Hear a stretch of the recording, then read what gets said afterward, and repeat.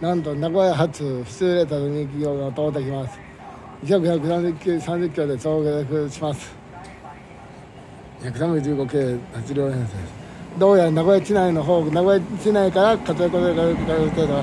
名古屋本来なら名古屋市の方は神谷高等特別進学校の学区なので俺はこれ特別進学校が経営されてるが本校入の要望の希望で活躍を来る人がいます。こちら名古屋市からだと7年本来なら他の高等学校が買う買うことになっています